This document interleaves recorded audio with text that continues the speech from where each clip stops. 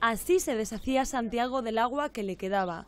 Desde ahora, la huelga de hambre se extiende a los líquidos. Un, para él, suicidio inducido.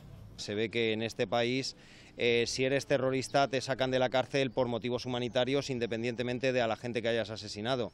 Si eres un padre que lucha por los derechos de su hija y por terminar con un secuestro que dura más de dos años y medio, se ve que no necesitas ningún tipo de apoyo de la justicia ni de nada y se te puede dejar morir tranquilamente y se sigue permitiendo el secuestro de tu hija de por vida.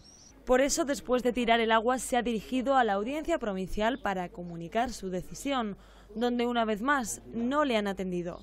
Pero Santiago está resuelto y es consciente de que se juega la vida.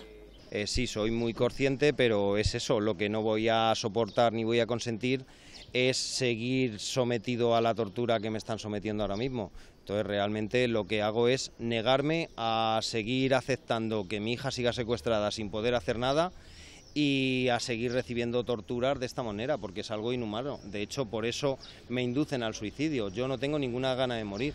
Por eso, asegura que no parará hasta que le escuchen y Noah se quede en España y pueda tener un padre. Me terminarán llevando a un hospital porque no podré resistirme a eso, pero pueden tener muy seguro que directamente en cuanto pueda salir del hospital volveré aquí y si tengo que morir, moriré en público, evidentemente. No voy a morir encerrado en ningún sitio. O sea, si me quieren matar, me van a matar en la plaza.